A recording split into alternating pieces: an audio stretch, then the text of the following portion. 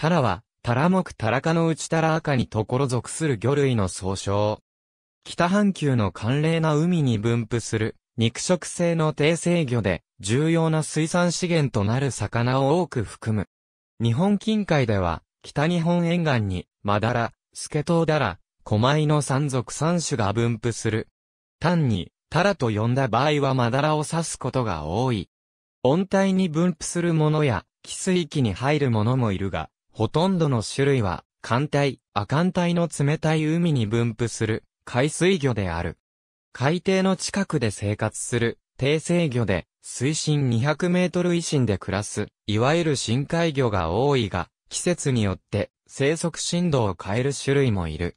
大きな群れを形成し、大規模な回遊を行うものもある。背中側の体色は、灰色や褐色で、水底に紛れる、保護色となる。食性は肉食性で、多毛類、貝類、頭足類などの無脊椎動物や他の魚類を捕食する。産卵は、冬季から早春にかけて行われる。卵は、沈静卵で、砂泥の海底に産卵される。タラ類の一度の産卵数は、数十万から数百万個に及び、魚類の中でも、多産の部類である。新魚による卵や、死魚の保護は見られず、生産率は非常に低いと考えられる。背びれが3つ、尻びれは2つに分かれることが、タラ赤の大きな特徴で、タラメの他のグループとの鑑別点の一つとなっている。口が大きく、下顎に髭を持つ種類が多い。全長は数十センチメートルを超える中、大型種が多く、最大の大西洋ダラは全長2メートルに達することもある。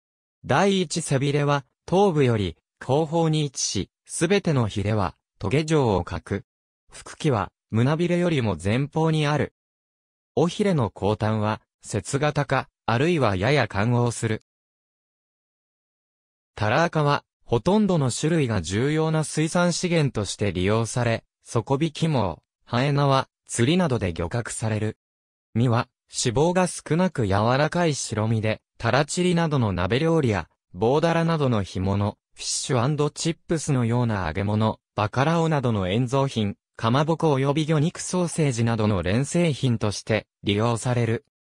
肝臓からは肝油を採取するほか、オイル漬けにしたものはコットレバーとして缶詰にされる。また、スケトウダラの卵巣、マダラの清掃、胃、舌なども食材として用いられる。韓国では、タラの内臓を唐辛子漬けにして、塩辛にしたものがよく食され、日本では、チャンジャと呼ばれる。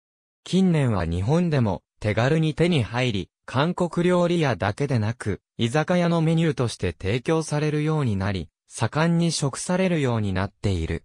肉は、鮮度の落ちが早く脂肪が少ない上に、古くなると、独特の匂いを発する。そのため刺身等の染色は、水揚げされる、漁港周辺などに限定される。ヨーロッパの干したらは、同地や中南米でよく使われる食材で、水で戻して調理される。漢字では、身が、雪のように白いことから、タラと書くが、これは、和製漢字である。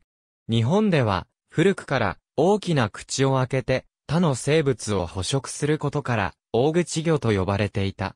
この和製漢字は中国でも一般的に用いられている。なお、福建省の八花語では大口魚はバスを意味する。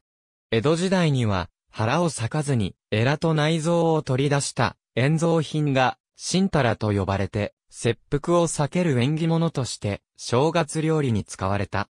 非常に貪欲なことから、腹いっぱい食べるという意味の福祉、たらふくの語源となったと言われている。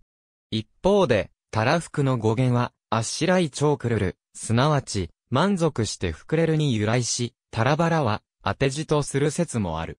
南だら。タラ赤で唯一、南半球に分布する。白糸ダラポルラキウスバイロ。大西洋北東部に分布。大西洋ダラ。タラーカ中の最大種、マダラ。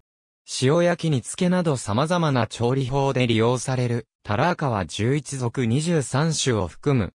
分布の中心は、北、大西洋だが、一部は、北極海や日本近海を含む北、太平洋に生息する。